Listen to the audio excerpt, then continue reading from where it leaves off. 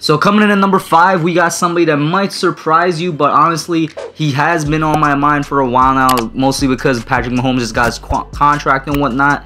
Deshaun Watson. His full name is Eric, actually Derek Deshaun Watson. So Deshaun is his middle name apparently. I I didn't know that until I had to uh, pull up his file and whatnot. But Deshaun Watson, the quarterback for the Houston Texans, taken at round one, 12th overall in the 2017 draft. I believe he was the third quarterback selected after Mitch Trubisky and Patrick Mahomes. But we all know the story on Deshaun Watson. You know, third quarterback taken in 2017 draft. His rookie year, before he went down with an ACL injury, he had possibly he was on track to actually have one of the best quarterback rookie years in NFL history. The guy looked like an absolute stud. Came in and just essentially thrown into the fire and knew immediately what to do. He adjusted really well to the NFL style offense, adjusted really well to the Texans and their terrible offensive line.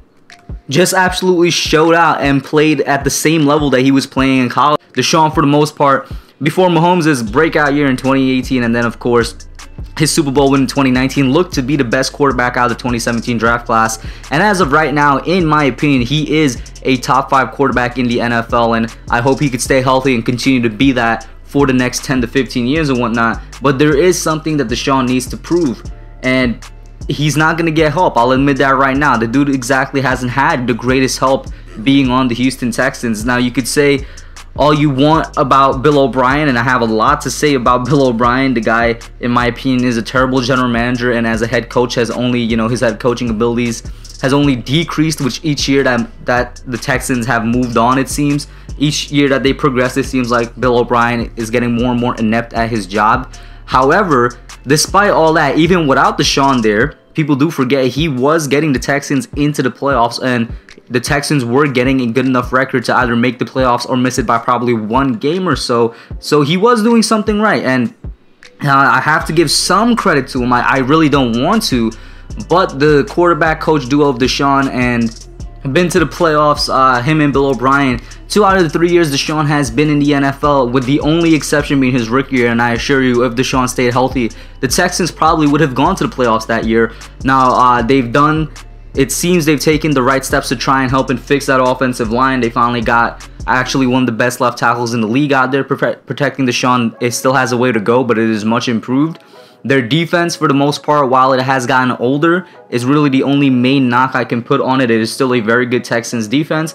And of course, the biggest thing was that they traded away Deshaun Watson's biggest weapon in DeAndre Hopkins, which was an ultimately stupid move that I can't defend. But he still has a okay group of receivers to throw to. Now, this is what Deshaun has to prove this year, and I know he's not going to get any help, but uh, considering where he is in the quarterback rankings and considering what he's done in the regular season with, you know, average Texans teams and whatnot, he needs to prove that he can make it in the playoffs. The way the NFL is moving, younger and young quarterbacks are doing things a lot earlier in their careers than you would expect, and Deshaun needs to show that he can win some playoff games. He is currently 1 and 2 in the playoffs, and I'll throw up his stats right now. Of course, the closest he came to getting to the AFC Championship was just last year when he went up against his draft mate in Patrick Mahomes, and the uh, Texans had a great lead on them in the first quarter and seemed to be doing things right, and then things collapsed right after that. And Deshaun, once again, being 1 and 2 in the playoffs, he has not really made it that far into the playoffs so far. And the thing is, you don't want to end up being labeled as just a regular season guy, you know? Guys like uh, Philip Rivers and other quarterbacks who were really good in the regular season, but when it comes to postseason time, they don't really do much. I completely believe that Deshaun has the ability to do so, but he has yet to show it. Hopefully, this is the year he does have that playoff breakout type season and rises above the rest, um, especially above the challenges he will have being on a Bill O'Brien Texan team. But if there's any year to do it, it would be this one. The AFC South, as of right now, there's only really one other competitor in there. That is the Indianapolis Colts. I know the Titans were just the AFC South champions, but they're going to be relying heavily on Derrick Henry to have a repeat type season if they even want to have a record that they had last year. The defense was good, but it was carried by Derrick Henry, and the Jags seem to be in some sort of rebuild mode. Your only competition in that division seems to be the Indianapolis Colts quarter quarterbacked by a really old Philip Rivers. So Deshaun, you kind of don't have an excuse. Moving on to the next quarterback on this list, somebody in a very similar situation in terms of what they need to prove. Josh Allen, quarterback 40 Buffalo Bills. Taken at the 7th overall pick in the 2018 draft, Allen was kind of the late bloomer of the quarterbacks that came on very late in the offseason, really exploded onto the scene and rose up draft boards after his great combine day.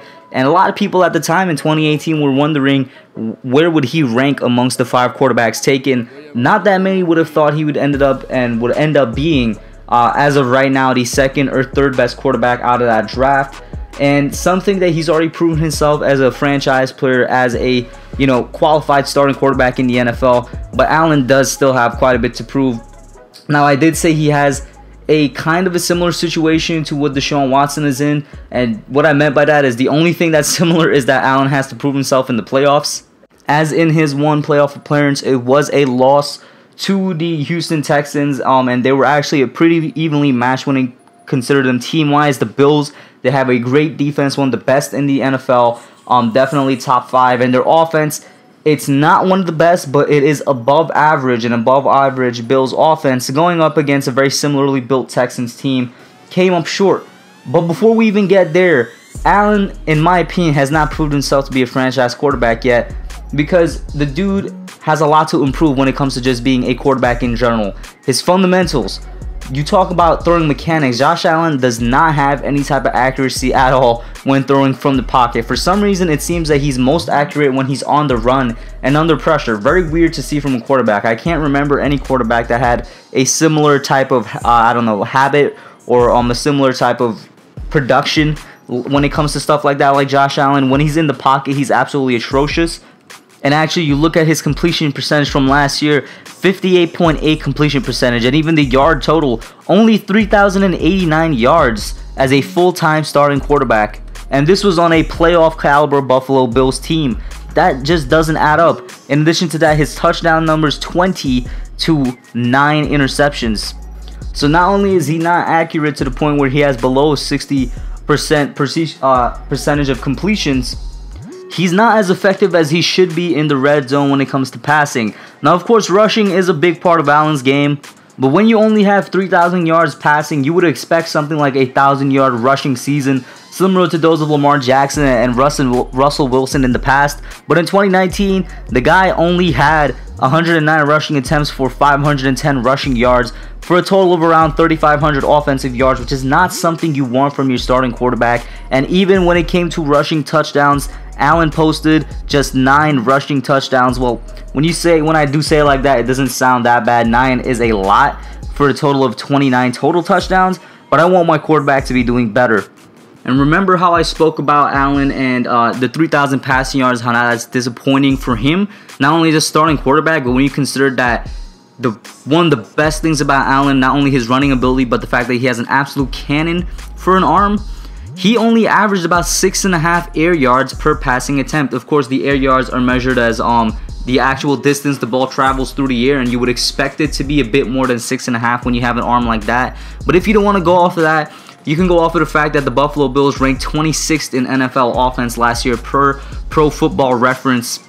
And just going off of regular yards gained per passing attempt, they were 21st in the NFL. So, not something very good from your quarterback there.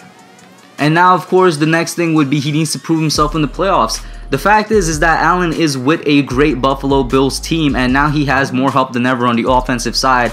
Considering that they just traded for Stefon Diggs, he now has a legit number one wide receiver, and in total, a good wide receiving corps there in Buffalo, a good running back core, an alright offensive line, an absolutely great head coach, and a great defense. Playing in an AFC East where your only competition was the New England Patriots, and up until Cam Newton signed there, you guys were by far the favorites because you had the best team on paper. Your only comp is still the Patriots, and you should still win that division considering that you have a way better team than them. Let me give you the benefit of the doubt and say that you don't for some reason. You should still be in the playoffs and you should still travel at least, you know, one game in pass the wild card round and not get knocked out at the wild card round. That's what Allen has to prove. The next quarterback on the list is somebody that I love to talk about. That is Dak Prescott of the Dallas Cowboys. Man, listen, I think everybody knows what's up here with Dak, man. Dak is definitely entering another prove it year, which, if you're a Cowboys fan, you would say is crazy considering that he almost had 5,000 passing yards with 30 touchdowns last year. Not exactly trying to prove himself as a regular season quarterback. No, no, no, no, no. Dak enters a prove a year because he's trying to get a certain amount of money and a new contract. And in my opinion, he's earned a new contract. I don't know if he's earned what he is demanding though. And not only does he have to prove himself for that, but he has to prove that he can actually win with the Dallas Cowboys, which is a strange thing to say because uh, for the past two years or so, including this upcoming season, the Dallas Cowboys have been one of the most talented rosters in the NFL. And going into next season, in my opinion, in terms of just pure talent, both on the offensive and defensive side, they should be a top five team. But it's a question as to whether or not they're even going to make the playoffs because of the performance of Dak Prescott. You talk about last year, they went 8 and 8 with a 5,000 yard. You know what? Let me give the exact stat 4,902 yards, 30 touchdown, 11 interception quarterback, 65.1 percent completion percentage and Dak has always been consistent with that. He's always been one of the best in the NFL when it comes to um, completion percentages coupled with a stellar running game in Zeke Elliott, 1,300 rushing yards, that amazing Dallas Cowboys offensive line, a good wide receiving corps that just became great with the addition of CeeDee Lamb, and a good defense to back you up with pass rush that can get to the quarterback on a consistent basis and they went 8 and 8 in a weak NFC East division, missing the playoffs. Dak certainly has a lot to prove. I think since he came into the NFL, he's had a lot to prove, whether you consider it fair or not. But it was because of the fact that he was a fourth round quarterback thrown into probably the best situation you could be thrown into as a rookie quarterback, and he had immediate success. People questioned it and rightfully so because you gotta you gotta realize you gotta think about how much of that was Dak and how much of that was just the great surrounding team around him and it seems like last year it was the team surrounding him because no matter how great he did, he just couldn't win certain games when it came down to it. No matter what his stats say, and stats don't always tell the story, no matter what the picture is painted by his numbers, you get down into it. The Cowboys went 8 and 8 and there was games they could have won, games where your quarterback is supposed to step up games that make your quarterback your quarterback, that make you realize this is the franchise dude that Dak absolutely squandered last year. And if he won them, they would have been in the playoffs, and God knows how far they would have went. You talk about games like the Saints in week four, a one score game. The Jets, the Jets, not even a good team, but they lost to the Jets in a one score game. The Patriots in a one score game. These are games where Dak had to step up and take over as the franchise quarterback and take over that game. And he needs to prove that he can do that this season because, listen, in my opinion, I don't think he's in the future plans of the Cowboys.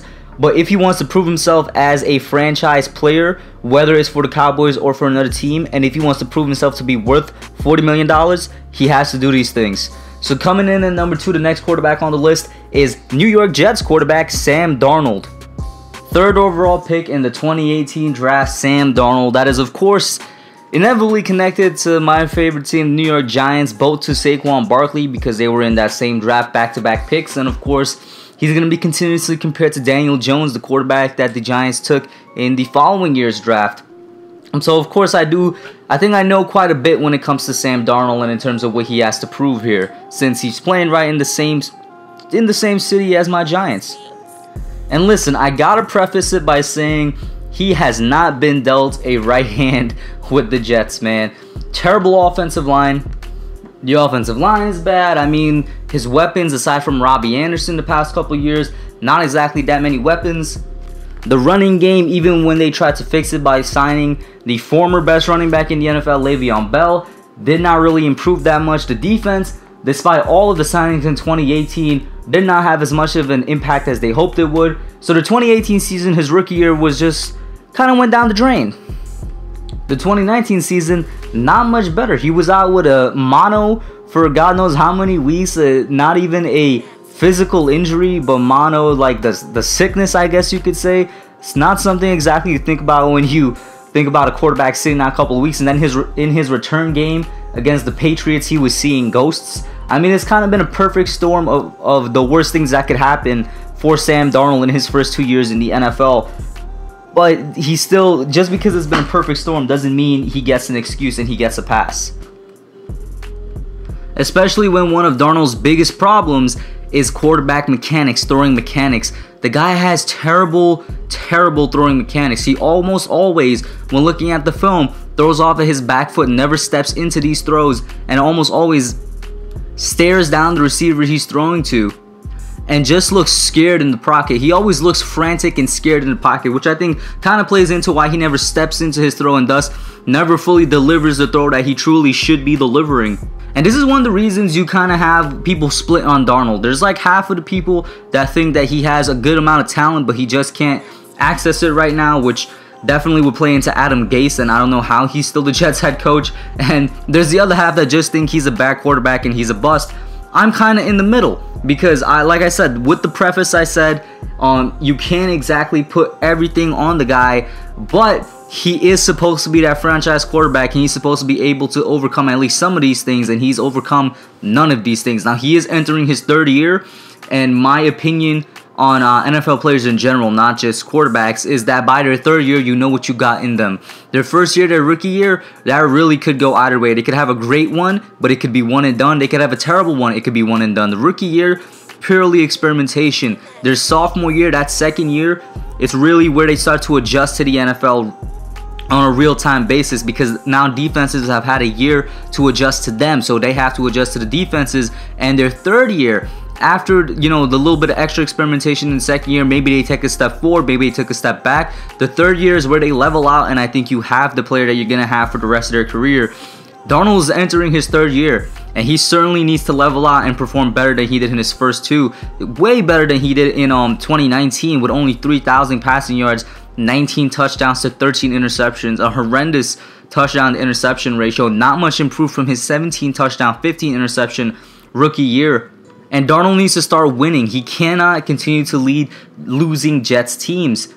You know what I mean? This is in the old NFL where you give quarterbacks a lot more time than they have right now. You know, where they sit, they and because of the fact that they sit, they have more time to adjust. They come in and you give them maybe four or five years to get the job done.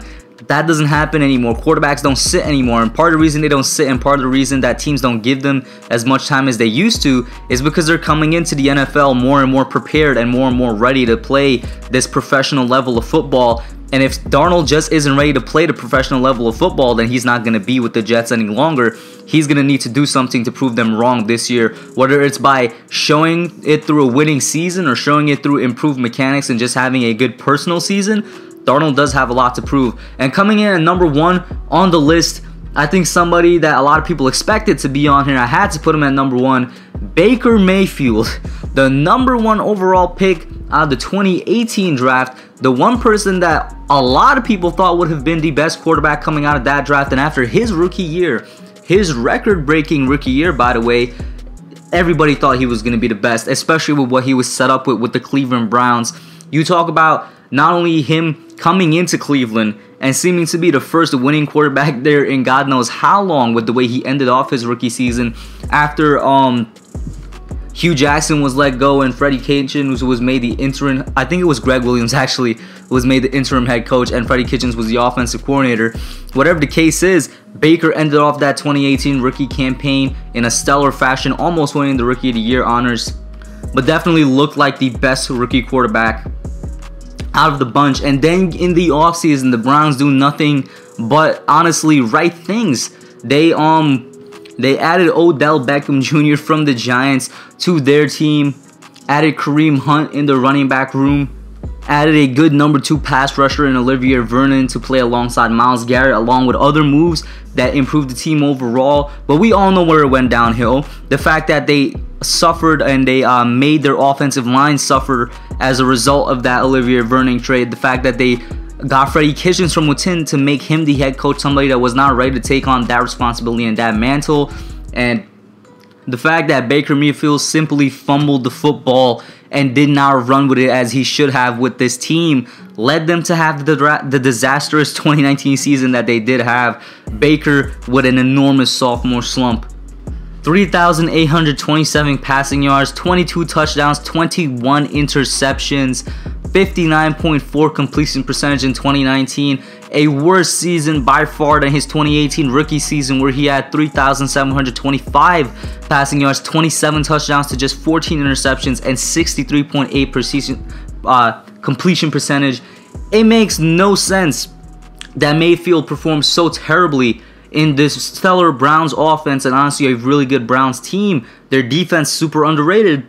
And then in addition to that, you add in the fact that the dude is absolutely terrible off the field with the media. He can't control his emotions when talking to the media. He's very easily riled up and honestly has some of the worst interviews I've ever seen by any NFL player and he has to 100% improve that. It at first it looked like you know it was just some bravado. People were kind of cheering him on, saying that ah yeah he doesn't really you know take anything from the media. He doesn't take the criticism. But now it just looks like he honestly is not mature enough to handle it and mature enough to formulate good responses to it.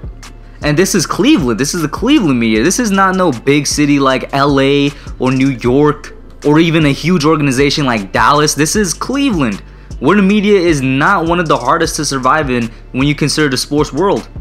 And he's absolutely floundering. So as harsh as it seems to say that for a quarterback, a young quarterback entering his third year, who in 2018 broke rookie records for the quarterback. As harsh as it is to say, the truth of the matter is that this is Baker, Baker Mayfield's make or break year. This is the year he has to prove to the Browns and to the NFL that he is what people thought he was coming out of the draft. He has to not only win, where the case with Sam Darnold, in my opinion, is just show improvement, whether through winning or through personal improvement. Baker has to do both. He's on too, you know, too much of a talent stacked roster to not do both. He has to both win games and potentially get the Browns into the playoffs or get them close to that and show personal improvement definitely with getting that completion percentage back up and has to turn down the turnover rates. 21 interceptions is not going to cut it. And then the personal improvement in terms of how he deals with the media, Baker Mayfield is going to have to be a completely different quarterback from what he was last year if he wants to continue to have a career in the NFL. And um, that was my list for you guys. Let me know what you guys think. I I keep going a little too long with it, and I don't know why. I, even though I have it planned out and I'm looking at my time, I always go a little bit too long. But who do you think on this list has the most improved this year? And if there's anybody you would add to it or take off from it, let me know down below. I'm out. Thanks for watching. Don't forget to like, comment, subscribe, and share. I'll catch y'all in the next one.